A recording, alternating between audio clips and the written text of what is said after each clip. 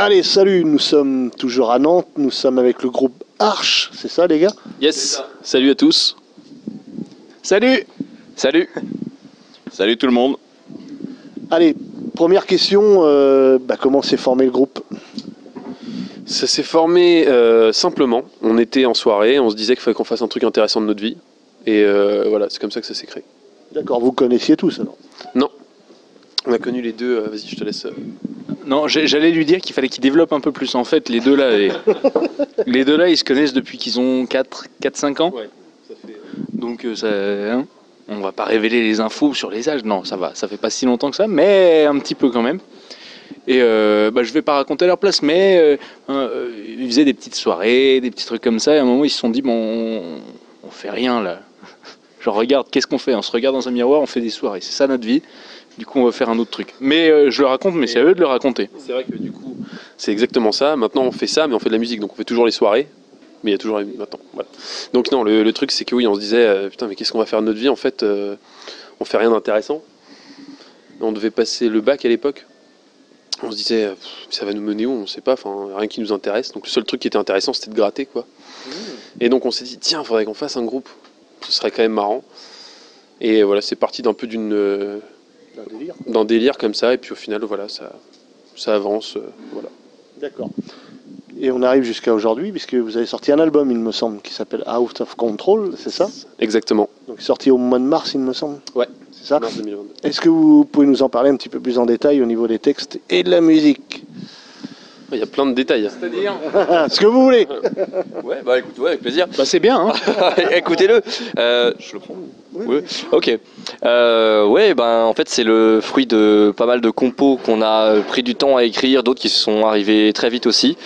Et euh, bah, pour la musique, euh, bon pour le petit processus de composition, euh, ça vient un peu de tout le monde.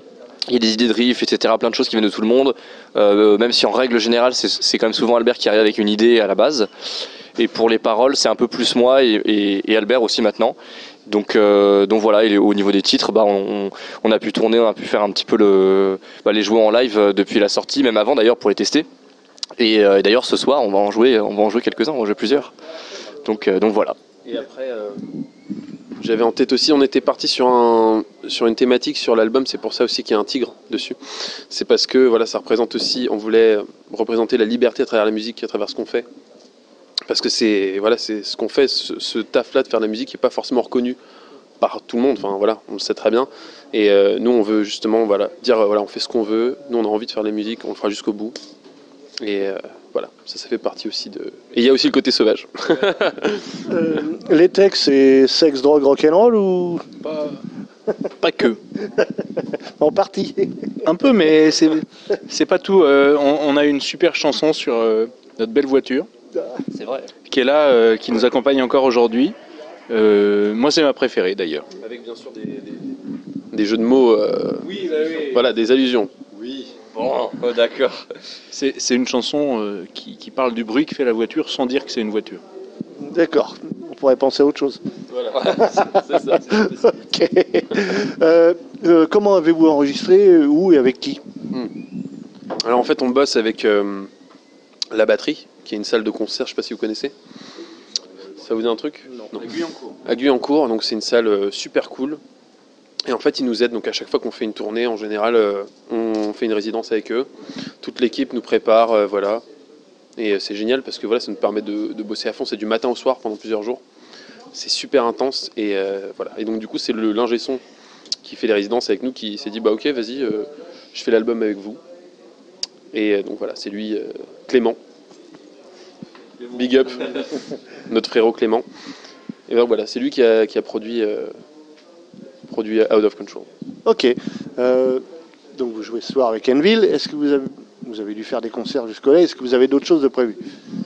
Oh On a plein de trucs de prévus.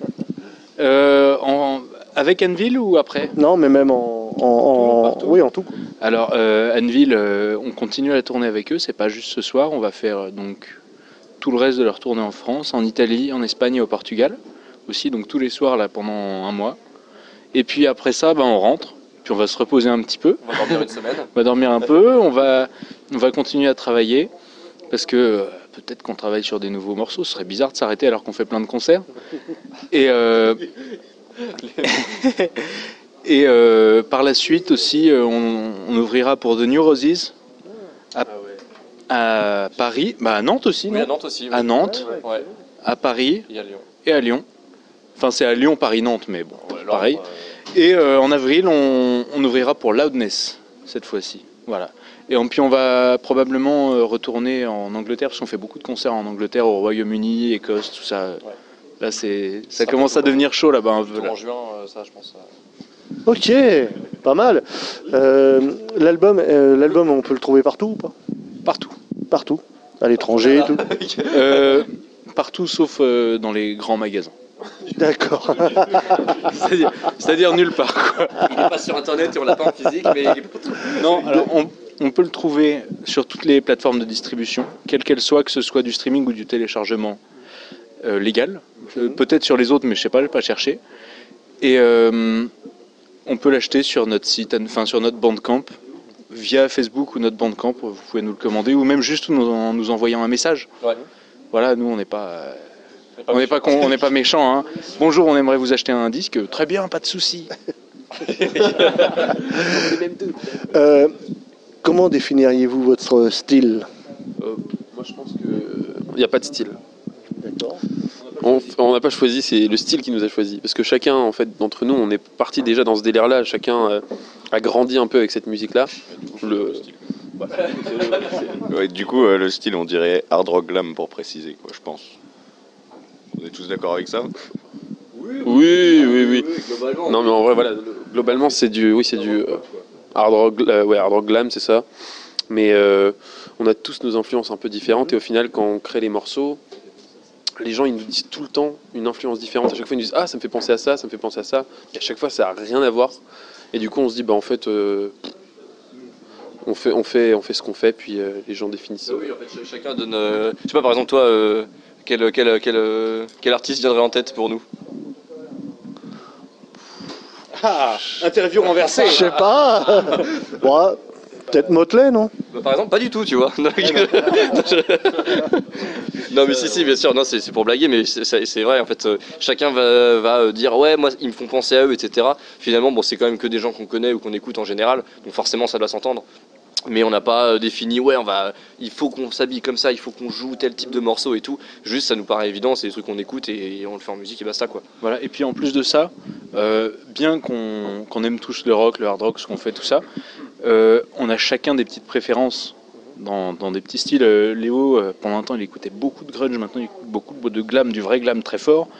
Albert, il est très très très très néo-métal, néo-néo-métal même.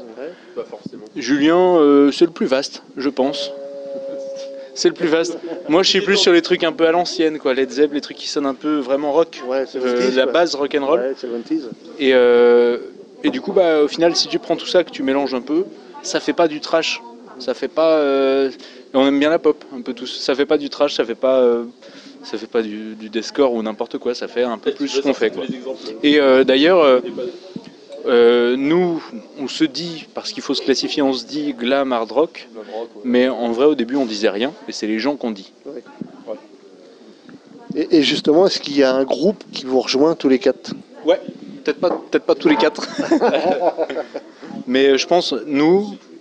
Alors, bah, il y a Slash Ouais. aussi. Slash.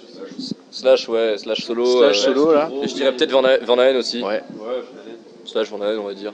Oui, bon. Ouais, bah, ça passe.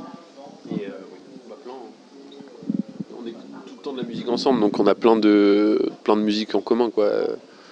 Après, même des groupes modernes, on écoute beaucoup de trucs modernes aussi. euh. Je sais pas, il y a quoi comme truc moderne qu'on écoute Shine Down. C'est vrai, c'est vrai que lui, il écoute pas Shine Down. Non, Hit. Ah, Hit. Voilà.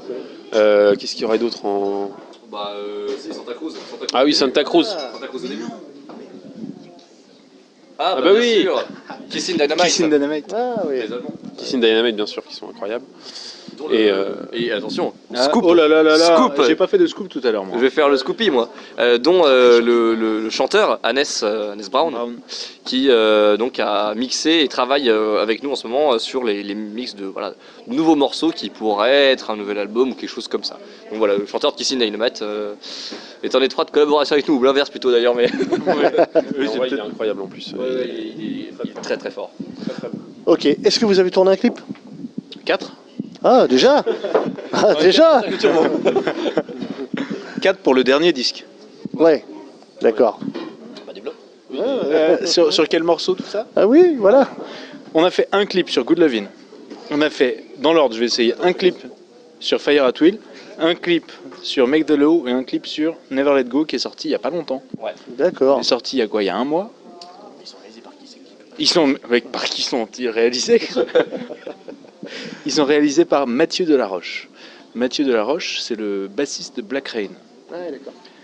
Et, euh, et il nous aide beaucoup. Merci beaucoup Mathieu. Ouais, merci Mathieu. Merci. Et ils sont bien. hein. Ok. Bah oui, je leur- leur- Normal. d'ailleurs, Leur, leur, euh, leur dernier album est- a été fait justement par Hannes. Donc c'est grâce à eux qu'on a le contact. euh, c'est grâce à Black Rain quoi qu'on a le contact de, de Hannes quoi. Donc on les remercie énormément pour ça parce que ça sonne incroyable. C'est c'est notre groupe grand frère un peu. Ouais. Voilà, c'est ils sont cool avec nous, c'est chouette. Ok. Euh, que pensez-vous de l'endroit et avez-vous l'habitude de jouer dans ce style d'endroit? Je, je vais peut-être arrêter de monopoliser le micro parce que sinon ça fait interview de Séverin. et- Allez. Alors que pensez-vous de la salle monsieur? Bah franchement l'endroit euh, l'endroit est super sympa avec des bonnes bières et tout. Super espace. Moi j'aime la bière. Non mais franchement c'est cool. Après on a déjà joué dans des lieux comme ça. Euh, Je pense notamment à Glasgow. On avait eu un bar un peu du style en, en souterrain. À Coulommiers aussi. Là, on n'est pas en souterrain, on est au deuxième étage. Non mais du coup t'as les pierres et tout. euh, Enfin voilà. Et non franchement euh, c'est génial quoi. Les gens ont l'air tous super sympas. Bon après on vient d'arriver il y a deux heures donc on peut pas faire un rapport détaillé non plus. mais mais jusque là franchement ça a l'air vraiment cool. Il y a un bon son là-haut dans la salle. euh, une bonne scène, une bonne salle. euh, donc voilà. Franchement c'est cool. Euh, je, bah, je sais pas, j'ai rien à dire de plus, mais, mais oui, très bien, très bien. Non, c'est un, un très beau rapport, hein, je, bravo. je lui disais, il faut que j'aille demander pour savoir si on peut faire la pyrotechnie ce soir. Parce qu'on fait de la pyrotechnie. Parce qu'on fait de la pyrotechnie sur scène et c'est voilà, et on, a, on a demandé mais ils n'ont pas euh, encore euh, dit si c'était bon ou pas. Justement, tu m'arraches la, la prochaine question. Je voulais juste vous demander s'il y avait quelques surprises justement ce soir au niveau des morceaux. Est-ce que vous faites des reprises, des choses comme ça? On fait une reprise. Ce soir on fait une reprise et c'est une belle surprise. Ah oui. C'est un morceau. Mais on que- va pas dévoiler. Non. Le seul truc qu'on peut dire, c'est que c'est pas forcément dans le style dans lequel on joue. On l'a re- on l'a refait à notre sauce, quoi. Si je sais ce qu'on peut dire. C'est un morceau des années 80, mais pas dans le style euh, Euh, un, morceau fait. iconique iconique. Tout des années monde le 80. Tout le monde le connaît. Tu le connais D'accord. Ok. Peut-être dans un film. Bon. Comment ça Ok. Bon les gars, je vais vous demander un petit mot pour la fin et puis vous souhaitez plein de bonnes choses pour la suite. Merci, c'est gentil. Bah écoute, euh, un mot pour la fin. Bah merci, euh, merci à vous les gars de nous avoir euh, ce soir, c'était un plaisir. Et voilà, avec les gars, on a hâte de monter sur scène, de faire cette tournée. On est arch. Des gros bisous. C'est- Tu, as, tu as tout dit, tu m'ôtes euh, les mots de la bouche, c'était parfait. J'en ai la larme. Merci. Ok, merci les gars et à très bientôt. Salut Salut